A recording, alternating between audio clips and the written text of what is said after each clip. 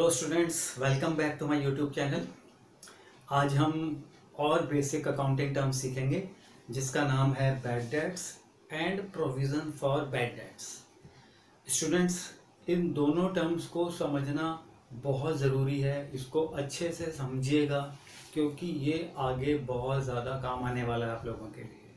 तो सबसे पहले हम सीखेंगे बैड डेट्स क्या होता है।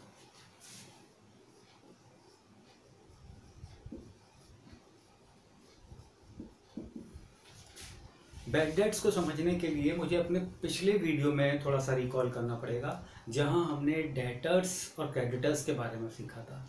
हम अभी डेटर्स के लेके चलेंगे, उससे आपको हम इस बैड डेट्स के बारे में समझाएँगे। हमने एक एग्जांपल लेके चला था, मैंने अपने ऊपर एक एग्जांपल लिया था कि मैं एक शर्ट्स को बनाने वाला काम करता हूँ, मेरा बिज़नेस है शर्ट्स बनाने का, और मेरे अपने कारीगर्स हैं जिनसे मैं शर्ट्स बनवाता हूँ, और आगे अपने रिटेलर्स को देता हूँ। तो ऐसे ही fifty shirts fifty shirts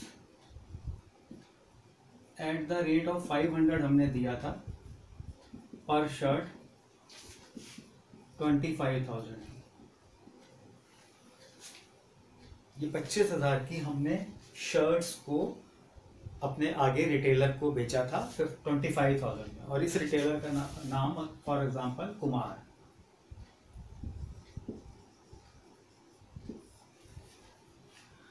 Kumar साहब ने क्या किया था? पच्चीस हज़ार में से पाँच हज़ार तो कैश दे दिए थे। Balance twenty thousand to be paid later दो महीने, तीन महीने में ऐसे बोला था कि दो तीन महीने में दे दिए जाएँगे। दोस्तों, आजकल के बिज़नेस एनवायरनमेंट में मैक्सिमम 80 परसेंट ट्रांजेक्शन्स क्रेडिट पे होती हैं। तो इसी तरह कुमार साहब ने भी ट्वेंटी थाउज़ेंड अभी ना देके ये प्रॉमिस किया कि मैं तीन महीने बाद दे दूँगा। तो ये हमारे हो गए थे डेटर्स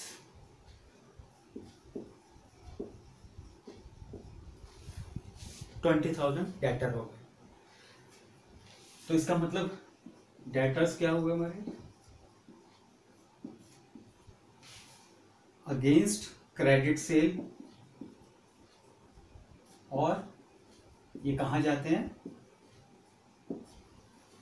एसेट्स में। क्या कहलाते हैं? करंट एसेट्स ठीक है? ये हमारा फॉर एग्जांपल ईयर ईयर था 2019-20 2019-20 के ईयर एंड पे हमने डेटर्स अपने बुक कर लिए थे ट्वेंटी थाउज़ेंड रुपीज़ ठीक है? अगेंस्ट मिस्टर कुमार अब दो तीन महीने बाद जब मेरा रिप्रेजेंटेटिव जाता है तो कुमार साहब कहते हैं कि मैं ट्वेंटी तो नहीं दे सकता। मेरी ऐसी हालत नहीं है, मेरा कुछ भी बहाना कि मैं नहीं दे सकता, मैं नाइनटीन थाउज़ेंड दे सकता हूँ आपको। अब नाइनटीन थाउज़ेंड दे सकता हूँ और साथ में फिफ्टी शर्ट्स का और एक ऑर्डर ले जाओ। आप फिफ्टी शर्ट्स नेक्स्ट टाइम फिर और ले आना। अब अगर मान लो वो नाइनटीन थाउज़ेंड देंगे तो एक हज़ार रुपये तो हमारा लॉस है। तो मेरा रिप्रेजेंटेटिव मेरे को फ़ोन पे बोलता है कि भाई ये तो इस इस तरह से कह रहे हैं नाइनटीन थाउज़ेंड दे रहे हैं full and final settlement one thousand कह रहे हैं, छोड़ दो से और फिफ्टी शर्ट्स का और ऑर्डर ले आओ। तो ठीक है, क्योंकि इन्होंने पहले ऐसे कभी नहीं किया, ये तो हमारे गुड डेटर्स थे। इन्होंने कभी भी ऐसे पहले नहीं किया। इस दफ़े फ़र्स्ट टाइम ये ऐसा बोल रहे हैं कि भाई मैं नाइनटीन दूँगा, एक हज़ार दूँगा ही तो अब पचास हज़ार का दूसरी तरफ़ लालच भी दे रहे हैं फिफ्टी शर्ट्स का। कि फिफ्टी शर्ट्स आप और लेके आ जाओ नेक्स्ट असाइनमेंट में। तो हम अल्टीमेटली मान जाते हैं उनसे। तो तो ये क्या करते हैं नाइनटीन थाउज़ेंड हमें कैश दे देते हैं। वन थाउज़ेंड तो दिए नहीं। एक हज़ार तो उन्होंने नहीं दिए।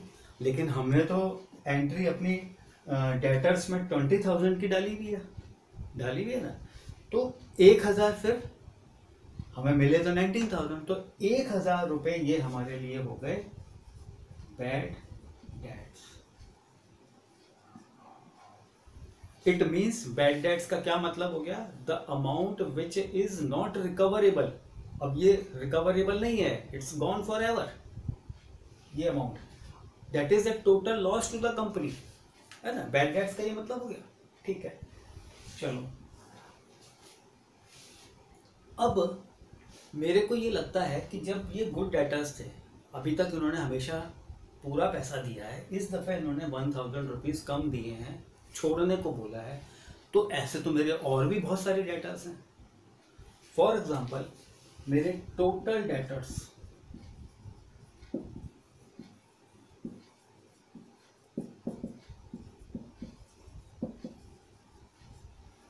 दो लाख रुपए के हैं। ट्वेंटी थाउज़ेंड से तो ये थे।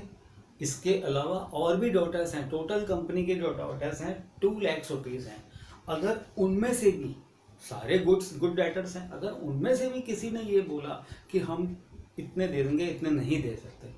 लॉकडाउन है, मंदी है, कुछ भी बहाना लगा सकते हैं, है ना? तो इन लोगों में से भी अगर किसी ने बोला तो हमें तो कुछ उसका प्रोविज़न करना पड़ेगा ना। तो फॉर एग्जांपल अगर हम एस्टिमेटेड कुछ फाइव परसेंट लगा लेते हैं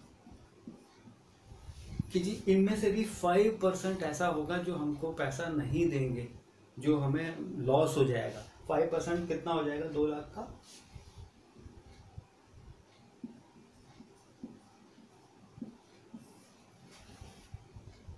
टेन थाउज़ेंड तो टेन थाउज़ेंड हमारा क्या हो गया? Provision for provision for doubtful debts ये हमारी एस्टिमेटेड फिगर है प्रोविजंस एंटिसिपेटरी कंफर्म नहीं है, हम मान के चल रहे हैं कि इनकी तरह, इन्होंने भी पाँच परसेंट नहीं दिया, इन्होंने भी तो इनकी तरह अगर फाइव परसेंट और भी डेटा ऐसे निकली आई जिन्होंने हमको नहीं दिया पैसा तो फिर हमें उसकी कहीं ना कहीं तो प्रोविज़न रखना पड़ेगा ना। एंटिसिपेटरी हमने कुछ फिगर रख ली ten thousand as provision for doubtful debts doubtful इसलिए है कि दे भी सकते हैं। अगर दे दिया तो ठीक है। और अगर नहीं दिया तो हम मान के चल रहे हैं, हमारे ये है। ठीक है? तो ये है हमारा प्रोविज़न फॉर डाउटफुल डेप्स जो कि मिल सकता है, हो सकता है पूरा टेन थाउज़ेंड मिल जाए, हो सकता है एक भी ना मिले, हो सकता है फिर फाइव थाउज़ेंड उसमें से वापस आ जाए। तो स्टूडेंट्स अब आपको बैड डेट्स और डाउटफुल डेट्स में डिफरेंस समझ में आ गया होगा। इसको हम एक दफ़े लिख के और समझ लेते हैं कि इन दोनों में क्या डिफरेंस है। ये मान लीजिए बैड डेट्स शॉर्ट में लिख रहा हूँ, ये है डाउटफुल डेट्स फ़र्स्ट डिफरेंस क्या था इसका? बैड डेट क्या होते हैं? इट से it this this amount cannot be realised cannot be realised इनको दोबारा से नहीं हासिल किया जा सकता। इट्स गॉन फॉर एवर ये जो है it can be may be may be और मे नॉट बी रियलाइज़ है ना? ये हो गए मे बी मे बी और may not be may not be realised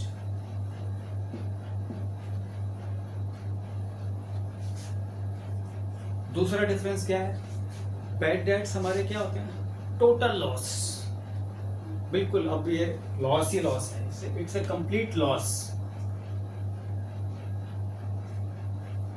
loss to the company और ये क्या है? Anticipatory anti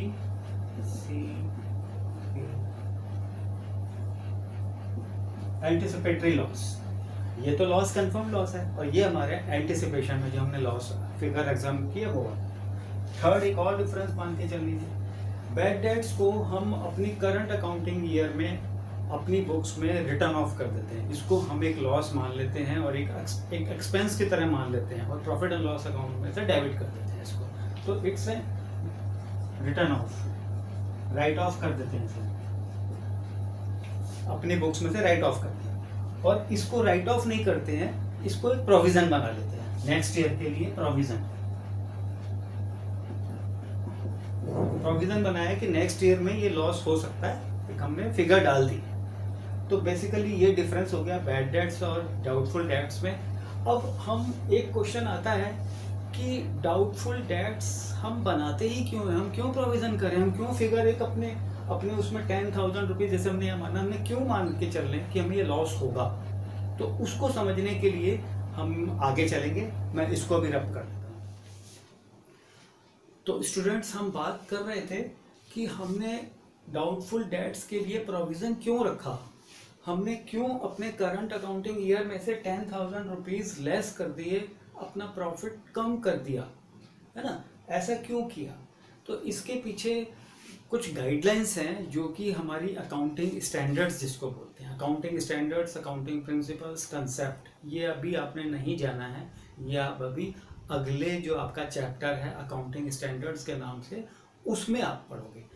Institute of chartered accountants of India I C A I आपने नाम सुना होगा? I C A I has issued some accounting standards which are mandatory to follow by all the business enterprises by all companies firms सबको mandatory है उन accounting standards को follow करना in order to arrive at the accurate and fair financial position of the company company की जिससे कि बिल्कुल fair accurate financial position पता लग सके ऐसा ही एक प्रिंसिपल है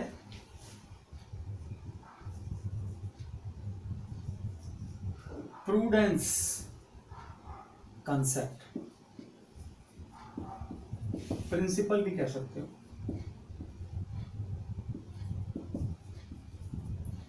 प्रूडेंस कंसेप्ट का डिटेल में तो हम आगे समझेंगे। बहुत बड़ा कंसेप्ट है। ब्रीफ में मैं मतलब बता देता हूँ। प्रूडेंस का मतलब है विवेक। बुद्धि जिसे कहते हैं। कि विवेक से सोचो। वो कहता है, ये प्रिंसिपल कहता है कि anticipate all future losses in the current accounting year but do not anticipate any profit तो हमने तो अपने एंटीसिपेट कर लिया। करंट अकाउंटिंग ईयर हमारा 1920 है। इसके एंड में हमने टोटल डेटर्स का ये जो हमें पार्ट है टेन थाउज़ेंड रुपीज़ ये हमने एंटिसिपेट कर लिया as per this principle prudence principle अब नेक्स्ट ईयर में अगर ये जो हमने प्रोविज़न डाला है, ये अगर हमें बिल्कुल नहीं मिलता टेन थाउज़ेंड रुपीज़ तो कोई प्रॉब्लम नहीं है, क्योंकि हमने इसका पहले ही एंट्री कर रखी है प्रोविज़न डाला हुआ है। लेकिन इसमें से हमें कुछ पैसा मिल जाता है फाइव थाउज़ेंड मिल जाते हैं, पूरा ही मिल जाता है टेन थाउज़ेंड मिल जाता है।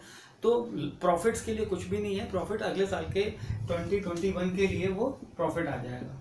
नेक्स्ट अकाउंटिंग ईयर के लिए वो प्रॉफिट माना जाएगा। तो अब दूसरा एक और एक और है प्रिंसिपल ये तो एक प्रिंसिपल हो गया। दूसरा प्रिंसिपल है matching principle matching principle